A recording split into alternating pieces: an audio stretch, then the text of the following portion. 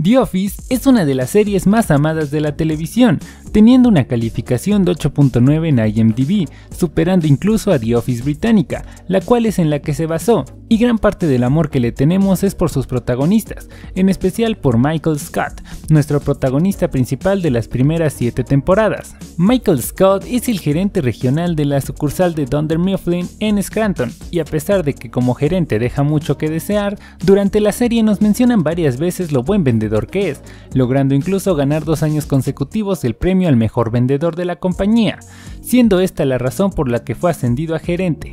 Um, question: Does top salesmen include uh, people who were at one time uh, uh, such outstanding salesmen that they've been promoted to? No, Michael. No, you you can't win this prize. I didn't mean me.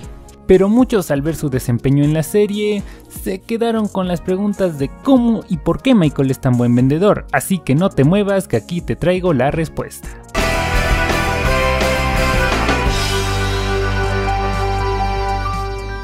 Por desgracia, durante su tiempo en la serie fueron contadas las veces que lo vimos en acción como vendedor, pero con las que vimos creo que es más que suficiente para darnos una idea de por qué es tan bueno.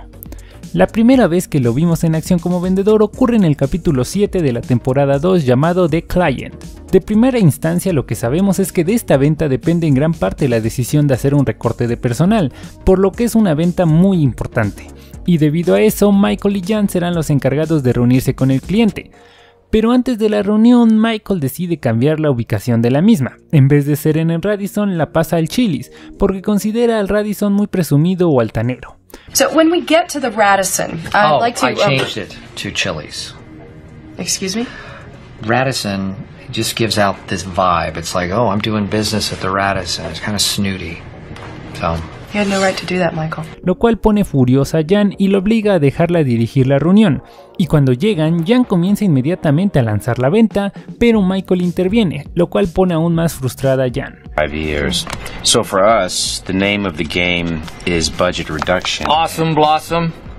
What? I think we should share an awesome blossom. What do you say? They are awesome. You want to, Christian? Awesome. Sure. ya que durante la reunión Michael se la pasa haciendo bromas y ordenando comida.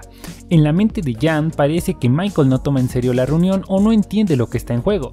Sin embargo, nos damos cuenta que Michael está creando una conexión con el cliente, trata de que cada chiste sea bueno, incluso llama a Pam para elegir sus chistes, bebe con el cliente y saca la conversación de la venta de forma natural, de forma que el cliente mismo dice sus necesidades honestamente y es cuando Michael hace su movimiento.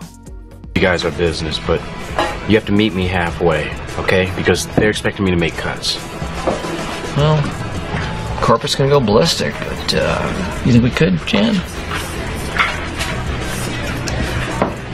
Solo que ahora cambió la perspectiva del cliente. Ahora se lo está vendiendo como si fuera su amigo, ya que conoce sus necesidades y ya no se lo está vendiendo tanto como empresa, lo cual hubiera pasado si Jan manejara la situación y tal vez hubiera podido ser diferente el resultado.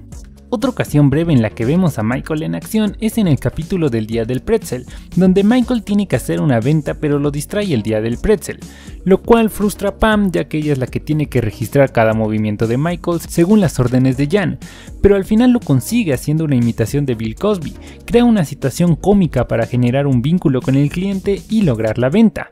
Mr. Caselli. Hey, the cars. What's going on? We have a deal? Deal or no deal? Let's make a deal. Michael está muy interesado en esto a la hora de hacer negocios, da prioridad en ganarse a la gente, conseguir la confianza de la persona y después lanzar la venta.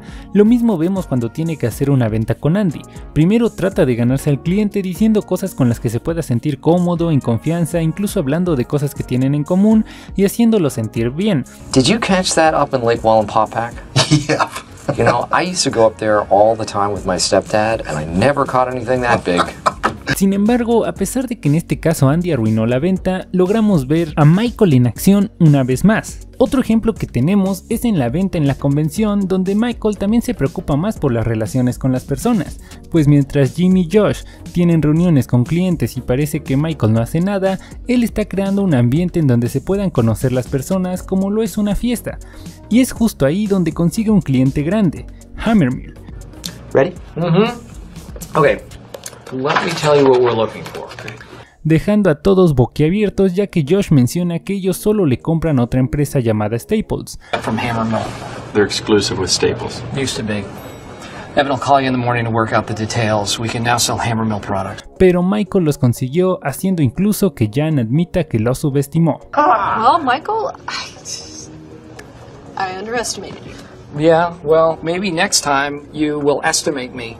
También cabe destacar que Michael es muy bueno negociando, es decir, a pesar de que le importan mucho las personas y los clientes, es capaz de negociar de una manera muy buena, como lo vemos en la venta de Michael Scott Paper Company. For a little change in the CFO, so I don't think I need to wait out Dunder Mifflin. I think I just have to wait out you. Donde de primera instancia David y Charles obviamente no creen que Michael Scott Paper Company tenga mucho valor, ya que sus precios son demasiado bajos. Sin embargo, la compañía de Michael se ha llevado a tantos clientes que realmente ha hecho ruido en las cifras de las ventas de Dunder Mifflin. Pero debido a que creen que Michael es el hombre más tonto del mundo, aunque en secreto es bastante inteligente, pero puede que él mismo no se dé cuenta de eso, o puede que incluso ni él mismo sepa cómo logra todo lo que hace, pero ya hablaremos de eso más adelante. Bueno, como iba diciendo, como Charles y David creen que Michael es la persona más tonta del mundo, intentan socavar el valor de su empresa ofreciendo cantidades bajas hasta que Michael, Pam y Ryan inevitablemente rechazan esas ofertas porque saben que tienen el poder y los clientes. $12,000. Are you kidding me? That is insultingly low. I don't even hear what your first offer was. Esencialmente, David ofrece 60 mil dólares, lo cual es un precio muy alto para Dunder Mifflin, pero aún así vale la pena recuperar a sus clientes. Sin embargo, Michael, Pam y Ryan se dan cuenta de que no pueden sobrevivir con 20 mil dólares cada uno, por lo que recuperar sus trabajos y regresar los clientes es la mejor apuesta. Y podemos ver que Michael puede ser duro a la hora de negociar, eso sin mencionar que conoce y usa técnicas de persuasión como la técnica Door in the Face, que consiste en empezar con una gran petición antes de solicitar lo que de verdad deseas. Es decir, Michael solicita que Charles se vaya, A Sebring. And I want Charles gone. lo cual es una gran petición porque la empresa lo necesita e invirtió en él, por lo que es muy valioso para la empresa. I'm not firing Charles. He's very valuable. That's very kind of you to say, I David. need him gone. No. Y entonces después de esa gran petición rechazada, pide lo que en verdad quiere, que es que regresen Pam y Ryan con sus antiguos puestos. Bueno, a excepción de Pam que ella regresa como vendedora. Okay, then I want Pam back. Uh, you already have a new receptionist. I know. Sales. Thank you. Y a pesar de que Ryan causó daños a Dunder Mifflin, es mejor aceptar esa petición, ya que como nos dicen en la serie, Charles es muy importante para ellos y Ryan tendría un puesto lejos del corporativo, donde no puede volver a causar estragos, por lo que sí, Michael sí sabe negociar. Mifflin, hundreds of thousands of dollars, Michael. You know what? Ryan. David, I don't care if Ryan murdered his entire family. He is like a son to me. Ahora bien, con todo lo que sabemos, podemos decir que el estilo de venta de Michael es people-centric selling, es decir, venta centrada en las personas o bien en los clientes, la cual obviamente se enfoca en ofrecer productos y servicios a clientes que buscan una experiencia de primera clase antes, durante y después de su compra. Esta visión de Michael la vemos mucho en cómo se interesa por las personas y por sus amigos. Is it the cash flow? Is it the inventory? Nuh-uh. It's the people.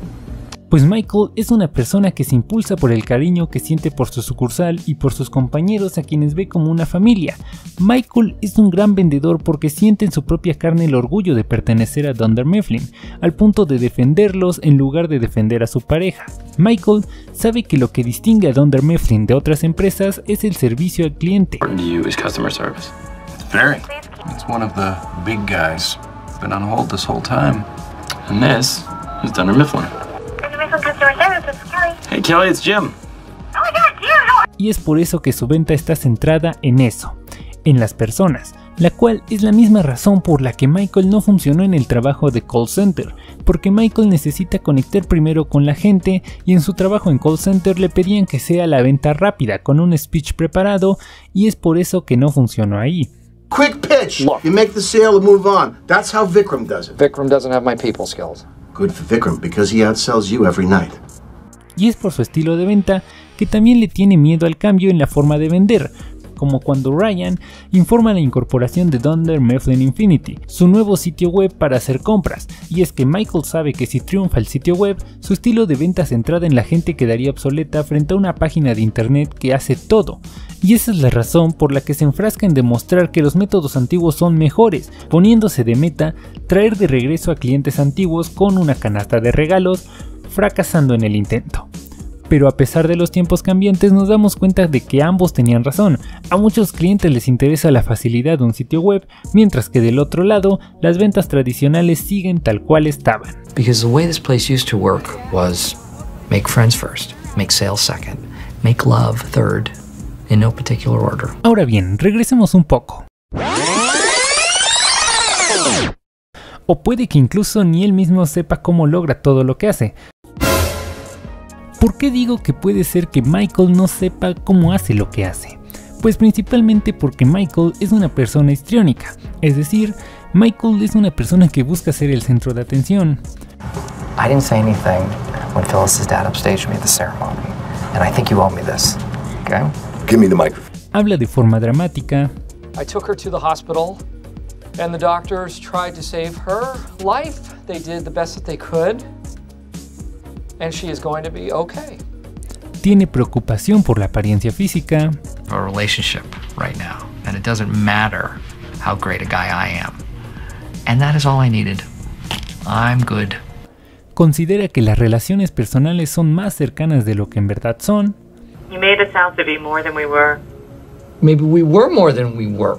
I don't know what you're getting so upset about. We had a fun fling a long time ago. se deja influenciar por otros, And you got a goatee. I did. Did you get that after you helped me move and you saw mine? Yes. tiene cambios de humor repentinos, Great practical joke, Jim. Got me go to the annex. No, God! tiene conducta provocativa y sexualmente inapropiada,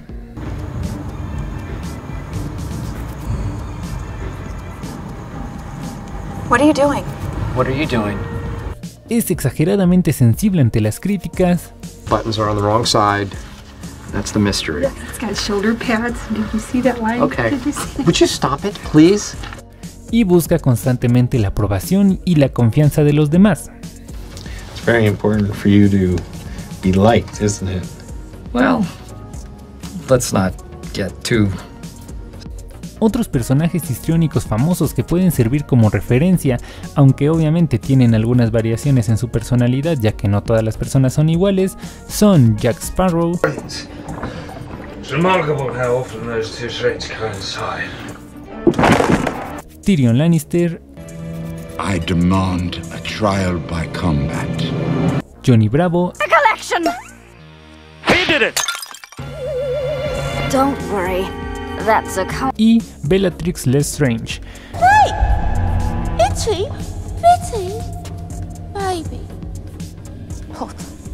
Y algo que las personas histriónicas tienen es que por naturaleza son extrovertidos, sociables y optimistas, pues al perseguir convertirse en el centro de atención pretenden gustarle a las personas que les rodean, para lo cual fingen ser lo que ellos creen que les agradará más. Esto les hace llegar incluso a cambiar sus propias creencias y convicciones en función de con quién estén. Por lo que puede ser que todo lo que hace Michael es simplemente para caer bien y ser el centro de atención, dejando en segundo plano la venta y que sin siquiera saber su personalidad es su mejor técnica de venta. Sin embargo, a lo largo de la serie Michael se reconoce a sí mismo como un gran vendedor, por lo que puede que haya ganado mucha confianza haciendo ventas prácticamente sin esforzarse debido a su forma de ser, y después mejoró su forma de hacerlas al punto en el que usa todos sus atributos a su favor, haciendo de Michael Scott un gran vendedor. How are things going at the library? Oh, I told you I couldn't close it, so. So you've come to the master for guidance. Pero díganme ustedes qué opinan. Me gustaría leer sus opiniones en la caja de comentarios. No olviden suscribirse y dejar su like para ver más videos como este. También no olviden que pueden seguirme en Facebook y Twitter. Nos vemos. Adiós.